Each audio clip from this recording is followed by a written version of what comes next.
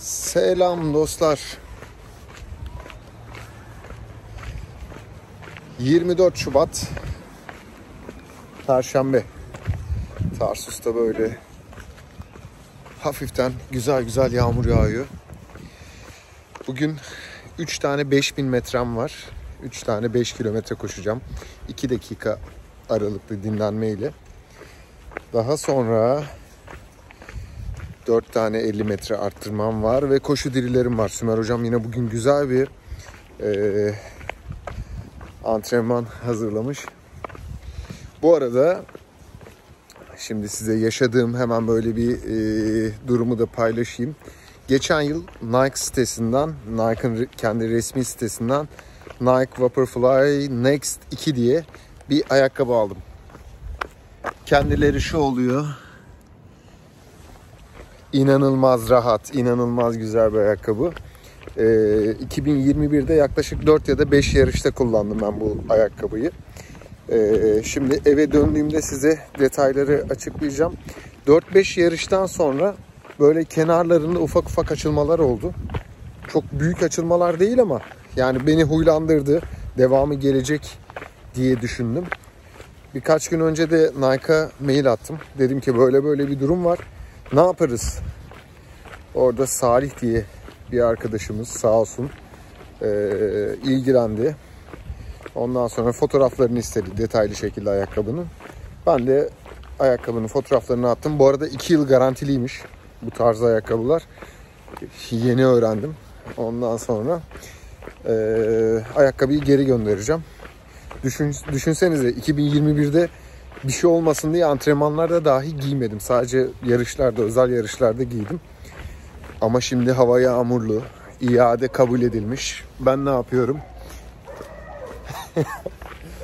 Hakkını vereceğim. Tadını çıkartacağım. Birkaç gün sonra da büyük ihtimalle göndereceğim. Eve döndüğümde ayakkabının size detaylı videolarını e, atacağım. Zaten ayakkabılarla alakalı da bir video yapmayı düşünüyorum böyle. E, hangi ayakkabıları tercih etmeliyiz? Hangi zeminde, işte arazide ya da düz e, koşu yaptığımız yerlerde hangi ayakkabının tabanı çok iyidir gibisinden ve kullandığım ayakkabıları da böyle sizle e, paylaşacağım. Şimdi ben koşuya başlayayım. Hava kararacak zaten ama erkenden koşup başlayalım ve bitir. 5 kilometreyi bitirdik. Şimdi baraja doğru geldim. Ah. Bakalım kaç dakika sürmüş? 25 dakika Ülküköy'den Tarsus Barajı'nın biraz gerisindeyim. Duran da e, evden çıktı. O kırık sırtında oturuyor. Burayı bilenler bilir. O da şimdi geliyor. 2 dakika dinlenmemiz var. 2 dakikadan sonra tekrar bir 5 kilometre. Sonra 2 dakika dinleneceğiz. Sonra bir daha 5 kilometre. Toplam 15. Sonra neyimiz vardı? Koşu dirilleri, arttırmalar. Evet arkadaşlar. Saç baş aldık komple sırılsıklam olduk. Ama acayip keyifli bir antrenman yaptım. 3 tane 5000 metre yani 5 kilometre koştum. Toplamda 15 kilometre. Arkadaşlar ayakkabı gerçekten inanılmaz fark ediyor koşu, koşuda. Yani bunu her geçen gün biraz daha böyle üst koşarak, deneyimleyerek anlıyorsun. Yani geçen yıl içerisinde kullandığım New Balance 1080 modeli vardı. Onunla koşuyordum. Yani yarışlarda, antrenmanlarda hep onu kullandım. Son yani hani birkaç yarıştır yine kullandım onu ama antrenmanda da e, alt özelliğini yitirdiğinin farkına varmamışım. Yani tam anlamıyla varmamışım. Şimdi Nike Vaporfly e, modelini kullanıyorum şu anda. Geçen yıl almıştım. Onu da 5 yarışta kullandım. Dediğim gibi videonun başında açıklamasını yapacağım onun. Ya bugün inanılmaz güzel bir tempo çıktı. Yağmur da yağıyor. Sanırım o da beni biraz motive etti. Zorlu havaları seviyoruz. Eve gittikten sonra daha detaylı böyle birkaç açıklama yapacağım bununla alakalı. En azından dediğim gibi ayakkabı seçiminde belki bir nebze yardımcı olmuş olurum antrenmanımızı da bitirmiş olacağız böylelikle. Görüş. Selamlar arkadaşlar. Şimdi eve geldik. Mis gibi duşumuzu aldık. Dinlendik.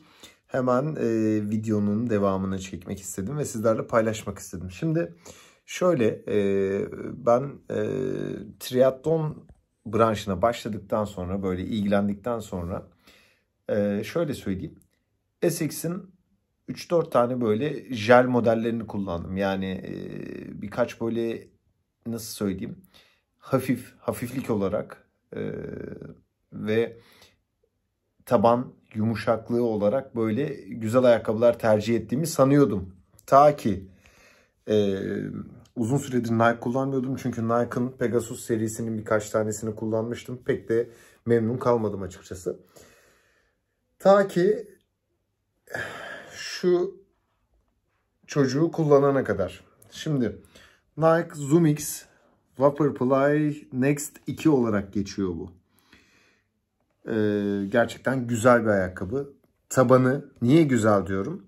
Tabanı gerçekten çok kalın. Yani kullandığı kullandıkları malzeme gerçekten çok iyi. Ee, şimdi detaylıca onu göstereyim. Ayakkabı şu şekilde yaklaşık 3 santim falan var. Ee, kalınlığı ve arkadaşlar şuraya bastırdığınızda yani topunuz şuraya e, geldiğinde ya da işte atıyorum koşu esnasında şunu sağladığında ayağınızı resmen yerden geri e, bir tepki alıyorsunuz. Yani geri tepiyor derler ya evet bunda onu yaşıyorsunuz. İlk kez e, bu ayakkabıda uzun uzun koşup böyle ayağımın yorulmadığını e, ve e, gerçekten ağrısız sızısız bir antrenman bitirdiğimi e, anladım. Şimdi ben bu ayakkabıyı geçen yıl yaklaşık 2750 TL civarında bir rakama aldım ve yaklaşık 5-6 yarışta kullandım. Ve onun haricinde hiçbir şekilde antrenmanlarda dahi kullanmadım. Sadece yarışlarda kullandım. Şimdi ayakkabıda ne gibi problem var? Niye bunu dile getiriyorum arkadaşlar? Bu modeli düşünüyorsanız şimdi bu modeli 5 ya da 6 kez kullandım. Ve burada ufak ufak böyle dış silikonumlu açılma. İçeride hiçbir şey yok. Bir de şurada kenarını görüyorsanız kenarda böyle minik minik açılmalar. Ha bu e, çok önemli mi değil ama beni rahatsız etti. Sonuçta az para değil. E, yani ciddi bir rakam. E, o yüzden ben Nike'a bir yıldan sonra mail attım ve geri iadesini kabul etti Nike. Şimdi bu çocuğu ne yapacağım? Pazartesi günü bir iki antrenman kullanayım tadını çıkartayım en azından. Ee, bir iki antrenman sonra ne yapacağız abi? Postaneye gideceğiz. Bunu kargolayacağız. Zoom X modeli bu şekilde. 5 yarış 6 yarışta kullandım. Toplamda belki 300-500 kilometre yapmışımdır. Ama bu kadar çabuk hata vermemeli diye düşünüyorum ya. Yani bu kadar e, iyi malzeme kullanmışlar mı kullanmamışlar mı artık şu durumdan sonra tartışılabilir. Şimdi e, ikinci videoda da neyi tanıtacağım? New Balance'ın e, 1080 modeli var. Ben bu ayakkabıyı aldıktan sonra onu antrenmanda giyerim diye düşünüyordum.